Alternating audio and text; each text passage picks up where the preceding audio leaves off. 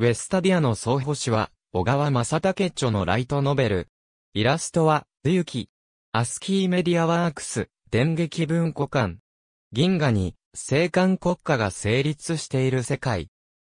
ロアキア統制帝国とルフェール共和国という2大強国に挟まれた干渉地帯にある13の小国の一つ、ウェスタディア王国の王エドアルド3世が死去した。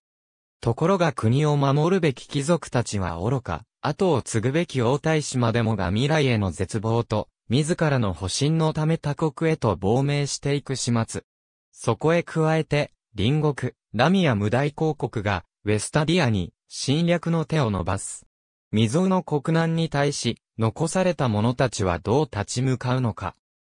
真逆の英雄登場の章2008年1月初版 ISBN 978から4から84024153幸運の女神降臨の章2008年5月初版 ISBN 978から4から04から86万7060から9世を忍ぶ将軍万有記の章2008年9月初版 ISBN 978から4から04から86万7220から七浦若き上層欄に立つの章2009年2月初版 ISBN 978から4から04から86万7525から3。